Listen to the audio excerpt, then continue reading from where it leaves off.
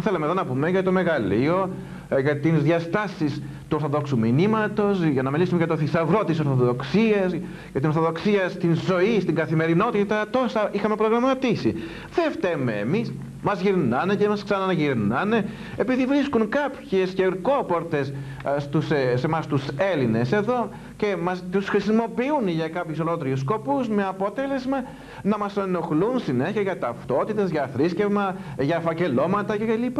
Επομένως, αφού το θέμα είναι πολύ μεγάλης σημασίας, ε, ασχολούμεθα και εμείς κατά επανάληψη με το θέμα αυτό και θα ξανασχοληθούμε. Και θα ήθελα κάποτε να λήξει το θέμα αυτό. Να, να αφήσει το, ε, η κυβέρνηση να μην ταλαιπωρεί πια το, το, το, τη Βουλή και τον ελληνικό λαό. Να πει η κυβέρνηση τι να πει με ελληνική συνείδηση και ευθύνη απέναντι των στιγμών και των περιστάσεων. Να πει τι θέλεις η ελληνική Ελλάδα, που είσαι το, το 98,2%. Θέλεις ταυτότητες απλές, όχι ηλεκτρονικές, όχι με φακελώματα, όχι με ειδικές λωρίδες. Τι να τις κάνουμε λοιπόν ταυτότητες και με θρήσκευμα, όταν θα έχουν την ειδική λωρίδα, τα φακελώματα, την κατάργηση... Μα γιατί δεν τα βλέπετε κύριοι εσείς που κόπτεστε για την ελευθερία της θρησκευτικής συνειδήσεως και, και τις ατομικές ελευθερίες; Τις ατομικές ελευθερίες παραβιάζει μια λέξη θρήσκευμα; Και δεν τις παραβιάζει τις ατομικές ελευθερίες. Η ειδική λωρίδα με, για την ειδική ε, οπτική ανάγνωση που μπορεί να περιέχει μέσα και 200.000 λέξεις φακελώματα. Δεν, δεν φροντίζεται λοιπόν να ψηφιστεί ο νόμος στη Βουλή η προστασίας του ατόμου, του πολίτου ε, κατά της επεξεργασίας των ατομικών προσωπικών στοιχείων μας μιλάτε λοιπόν και συνέχεια για το αθρήσκεμα, το αθρήσκεμα, το αθρήσκεμα. Επομένως εξυπηρετείτε σκοπιμότητες. Δηλαδή να καταργήσουμε την Ορθοδοξία, να καταργήσουμε τον Ελληνισμό, να πέσει το, το έθνος, να ωφεληθεί ο παπισμός, να ωφεληθεί ο Γλυγόρας, να ωφεληθούν και κάποιοι άλλοι Τούρκοι κλπ. κλπ. Ε, αυτά θα υπηρετήσετε στον τόπο αυτό. Να επενέσω λοιπόν ε, όλους ε, και αυτούς που ήταν αρνητικοί όμως είπαν κάποια θετικά πράγματα και φυσικά δεν μπορούμε να λησμονήσουμε τον ε, Παπαθεμελή που είπε ότι στην Ελλάδα είσαι ό,τι δηλώσεις χρησιμοποιών ε, του ε, Τσαρούχα ένα, μια φράση ε, ότι η εθνική μας ομοιογένεια μας δίνει το δικαίωμα να ομιλούμε για την ταυτότητα ότι τα ανθρώπινα δικαιώματα δεν παραβιάζονται και δεν πρέπει να δίνουμε δικαίωμα να μας πιέζουν χάρη των δυτικών. Μετά, πολύ θαυμάσιος ήταν ο κύριος Δρετάκης, ο οποίος είπε το μείζον θέμα είναι το ηλεκτρονικό φακέλωμα. Ε, είναι τεράστιας σημασίας ε, ε, η παράγραφος που αναφέρει ε, το, η απόφαση των προδιαγραφών του Υπουργείου Εσωτερικών ε, περί ειδικής λευκής λωρίδας που καταργεί το απόρριτο της ιδιωτικής ζωής που υπάρχουν ηλεκτρονικές ταυτότητες λοιπόν η προοπτική είναι να γίνουν ηλεκτρονικές ταυτότητες με αυτές τις αποφάσεις Λοιπόν, πού είναι οι αγώνες για αυτόν που κόπτονται για τις ατομικές ελευθερίες; Για να σου φορτώσει το Υπουργείο Εσωτερικών μια ταυτότητα με την ειδική λωρίδα, με, τους, με τις μαγνητικές γραφές, με τις ε, ακτίνες λέιζερ στη συνέχεια και να σε φορτώσει με το φάκελο που να κοβαλάς μαζί σου. Τι τις θες λοιπόν τις ελευθερίες περί θρησκεύματος; Αυτό είναι το πρόβλημα. Λοιπόν, ε, και ε, ομιλεί πάλι ο κ. Δετάκης περί αναγραφής θρησκεύματος ότι αυτός ο τόπος υπάρχει διότι ο Ορθόδοξος πίστης κράτησε το έθνος επί αιώνες. Η αναγραφή θρησκεύματος είναι μέρος της εθνικής μας υπάρξεως. Μπράβο κ. Δετάκη. Το πρόβλημα της Ορθοδοξίας στην Ελλάδα ε, κάτι ειδικό και μοναδικό. Δεν είμαστε ε, κύριοι Ευρωβουλευτές ε, ένα κράτος μπαλώματα όπως είναι η, της, της Δύσεως της Ευρώπης από ε, συμφερτό λαών και θρησκειών είμαστε εδώ ομοιογενείς Έλληνες και Ορθόδοξοι. 99% περίπου.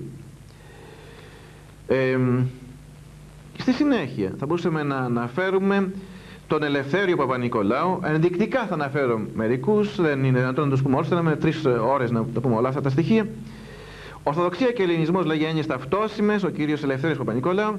Προσφορά Ορθοδοξίας στο γένος στο 21 είναι μεγάλη, εθνική αυτογνωσία, απελευθέρωση, αυτά είναι, είναι κατορθώματα της Εκκλησίας. Ανεπίτρεπτη η πνευματική μας αλωτρίωσης. Η προφορική αναγραφή δεν παραβιάζει την ελευθερία του θρησκευτική συνειδήσεως, ελέγχεται ηθικά και νομικά αβάσιμη η άποψη περί αντισταγματικότητα της αναγραφής. Η προαιρετική αναγραφή δηλεί αποσύνδεση ελληνισμού ορθοδοξίας και οδηγεί στην αφομοίωσή μας στην κοινότητα των 350 εκατομμυρίων. Αν δεν κρατήσουμε ορθόδοξος Έλληνας, τι θα κρατήσουμε, Ευρωπαίος; Ή τα εκιού θα μας ανασύρουν από τον καταποντισμό και την απειλή του ε, φασιστικού παπισμού; Ε, μόνος ως στην Ορθόδοξη θα μείνουμε Έλληνες και τα υπόλοιπα. Αναστάσιος Καραμάριος, ένας άλλος, ε, δεν υπάρχει λέει απαγόρευση από την κοινοτική νομοθεσία αλλά αντίθετα επιβάλλεται να εναρμονίσουμε το δίκαιό μας με εκείνο της ΕΟΚ ε, αλλά ποτέ στις περιπτώσεις που αφορούν την εθνότητα, τη θρησκεία ή τον πολιτισμό ή ό,τι άλλο έχει σχέση με την ύπαρξη του κράτους μας ανέθνους. Λοιπόν, η ΕΟΚ, όπως αναφέραμε και στο άρθρο 128 ε, του Μάστρικ, παράγραφος 5, δεν εναρμονίζει το δίκαιο, το δίκαιό μας με το δίκαιο της ΕΟΚ, αλλά απλώς ε, έρχεται συνεπίκουρος η ΕΟΚ. Δεν μας αναγκάζει να κάνουμε και τα ταυτότητά μας όπως ακριβώς θα ήθελε κάποιο Ευρωβούλιο. Αυτά λέγει το Μάστρικ. Εάν το Ευρωβούλιο είναι αντιμάστρικο, ας διορθωθεί το Ευρωβούλιο, όχι η Ελληνική Βουλή. Αθανάσιος Ξαρχάς. Βέβαια διαβάζω μια-δυο γραμμές από τα πολλά ωραία που είπαν. Οι 298 βουλευτές λέει ορθόδοξοι, πλην των δύο των ε, Τούρκων, των Μομεθανών, Τούρκοι δεν είναι, Έλληνες υπήκοοι είναι.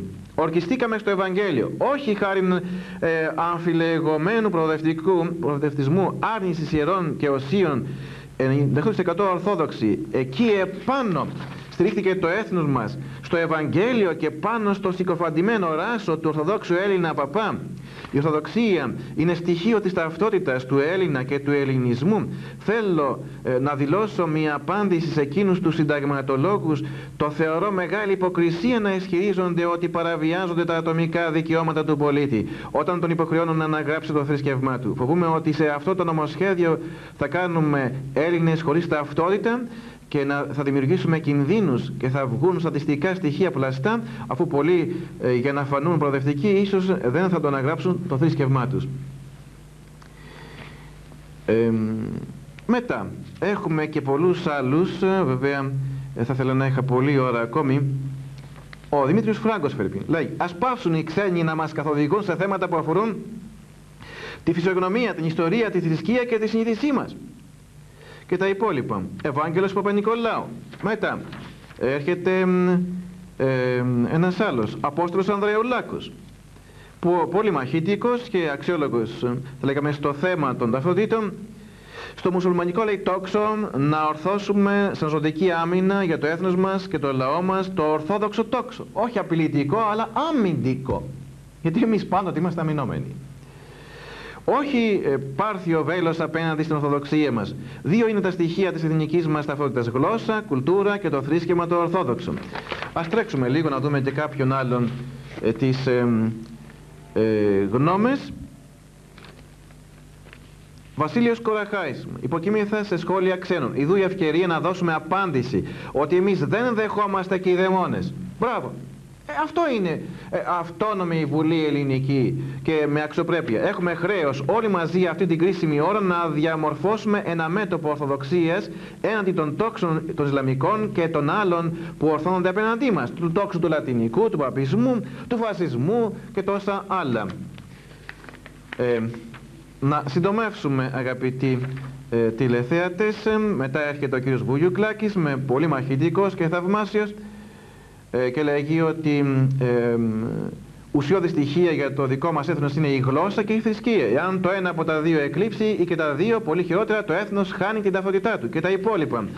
Ο κ. Κεφαλογιάννης δυστυχώς είπε ένα σόφισμα ότι ε, λέγει δεν τονίστηκε το στοιχείο της ελεύθερης συνείδησης. Πού παραβιάζει η αναγραφή την ελεύθερη συνείδηση; Και θα ήθελα να αναφέρω ε, και το εξής, το κ. Κεφαλογέννη στη συνέχεια. Πίστη δεν είναι τίποτε άλλο παρά ελεύθερη βούληση. Ποιος ανάγκασε να πιστεύει κανείς ότι δεν πιστεύει, ότι δεν θέλει να πιστέψει. Ελεύθερη βούληση και συνείδηση είναι η, ορθο, είναι η ορθόδοξη.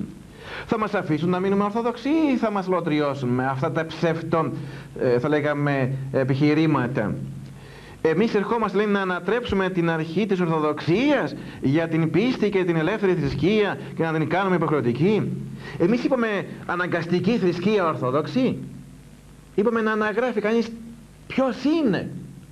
Και στο σημείο αυτό θα επιθυμούσα να αναφέρω και να καταλήξω γιατί ολοκληρώθηκε η ώρα να αναφέρω ε, από τον κυρίο Νικολακόπουλο τον ε, Κωνσταντίνο, τον λέκτορα ε, επιστημονικό βοηθό Ινστιτούτου Ορθοδόξου Θεολογίας του Πανεπιστημίου του Μονάχου να αναφέρω το εξής το οποίο λέγει ε, μεταξύ άλλων κατηγορεί ότι η Ορθοδοξία αποτελεί, αυτοτελεί τρόπο της ολοκληρωμένης ύπαρξης του ανθρώπου και μέθοδος ζωής. Τρόπος ζωής είναι η Ορθοδοξία, κύριε Κεφαλογέννη. Δεν είναι η Ορθοδοξία μια αναγραφή που αναγκάζεται κανείς, είναι ζει, είναι τρόπος ζωής. Επομένως να, να αναγράψει αυτός που το ζει, αυτός που ζει ότι είναι Ορθοδοξός. Η Ορθοδοξία λοιπόν είναι η καθημερινή ζωή των Ελλήνων. Εδώ λέω εγώ, το λέει επιστήμον του μονάχου Έλληνας Κωνσταντίνος Νικολακόπουλος. Ο Ορθόδοξος Έλληνας δεν δηλώνει στην ταυτότητά του τι είναι, δηλαδή ένα στοιχείο, μια παρονυχίδα το θέσχημα δηλαδή, δεν είναι κάτι τέτοιο το θέσχημα. Ο Ορθόδοξος Έλληνας απλούστατα ποιος είναι ως οντότητα μέσα στα επίγεια. Λοιπόν, ο κρατικός αποχρωματισμός από την Ορθοδοξία και την ελληνικότητα είναι καταστροφικός. Ας προσέξουμε λοιπόν αυτά τα οποία διαβάσαμε, δεν ολοκληρώσαμε. Έχουμε στη συνέχεια να δούμε στην επόμενη εκπομπή το άρθρο του κυρίου Μαρίνου από την Εκκλησία που, που μας λέγει ότι ουδεμία παραβίαση της σκεφτικής ελευθερίας υπάρχει. Να δούμε το άρθρο του κυρίου Καθάριου του Χρήστου ε, για το θρήσκευμα. Μετά να δούμε τη συνέντευξη που έγινε χτες εδώ στην ΕΣΥΕ ε, της, ε, από τους φίλους του Αγίου Όρους που κάλεσαν δημοσιογράφους και να δούμε τη, ε, τον, τον γέροντα Ιωσήφ, ξεροποτάμινου, του, του ηγουμένου του Αρχιμανδίτη Μακαρίου ε, Δουλουφάκη και του Ιωάννη Χατζηφώτη και της ε, ΕΠΗ ε, του κ. Περάκη, δηλαδή την εισήγηση που είναι ο Επιτροπής Δικαίου και Πληροφορικής, ο πρόεδρος. Να δούμε λοιπόν ποιες είναι οι ταυτότητες αυτές βάσει των δοκιμέντων αυτών. να ευχαριστήσω αγαπητοί τηλεθεατές που με παρακολουθήσετε και σήμερα, να ευχαριστήσω και το κανάλι AT68, το οποίο διαθέτει αυτό το πλαίσιο ελευθερίας, εκφράσεως. Δεν μου κάνει, θα λέγαμε, λόγω λογοκρισία. Δεν μου απεγόρευσε να πω τις αλήθειες.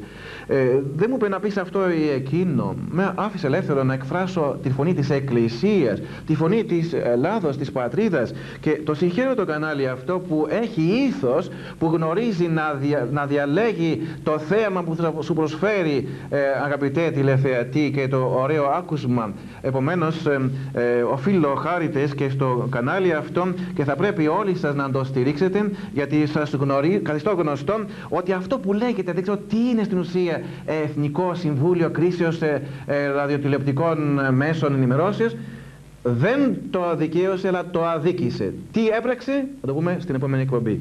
Θέλω να υποστήξετε το κανάλι Art68. Δεν μας ενδιαφέρει λοιπόν ε, τι ακριβώς ε, ε, κρίσεις κάμουν κάποιοι παράγοντες ε, κινούμενοι από κάποιες προπαγάνδες. Μας ενδιαφέρει τι είναι το κανάλι, τι προσφέρει. Και νομίζω προσφέρει το σωστό και το πρέπον εδώ στον ελλαδικό χώρο.